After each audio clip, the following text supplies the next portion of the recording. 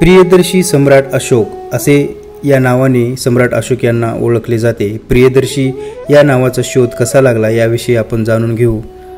देवनाम प्रिय प्रियदर्शी याने कोरून ठेवलेल्या शिलालेखांचा शोध अनेक शतकांमध्ये आणि पूर्ण भारतभर घेतला जात होता.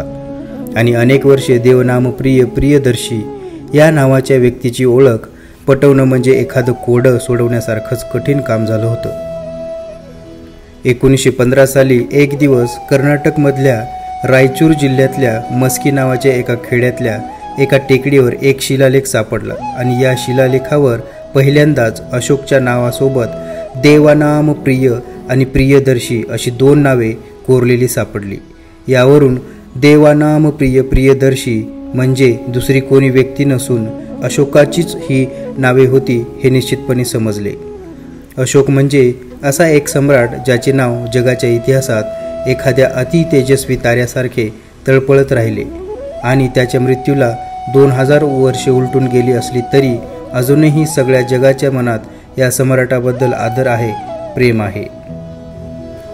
धन्यवाद.